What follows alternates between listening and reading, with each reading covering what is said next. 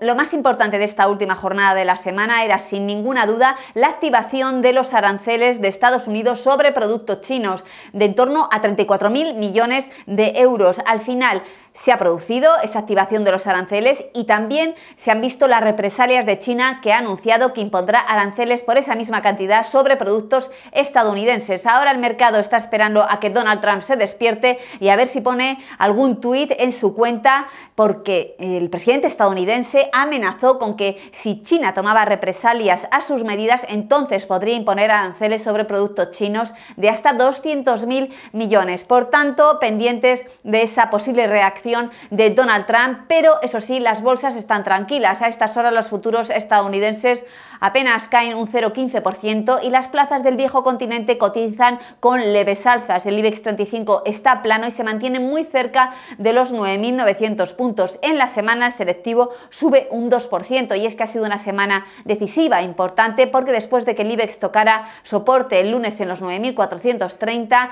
empezó a subir y no ha parado de subir desde entonces, mejorando claramente su aspecto técnico y con la vista puesta en ese siguiente nivel técnico que tiene en los 10.100 puntos. En cuanto a otros aspectos importantes de esta jornada, estamos pendientes de la publicación del informe de empleo del mes de junio en Estados Unidos que se conocerá a las 2 y media hora española. Se espera un dato de nóminas no agrícolas de 195.000 y que la tasa de desempleo se mantenga en el 3,8% y un incremento salarial de en torno al 2,8%. Estaremos pendientes de esta referencia y a ver hasta qué punto eh, va a apuntalar el buen comportamiento en Estados Unidos durante esta jornada. Tenemos que hablar, por cierto, de que ayer las actas de la Reserva Federal apuntaron a que se iba a continuar con un incremento gradual de los tipos eh, de interés y además también advirtieron de los peligros sobre la economía estadounidense de las políticas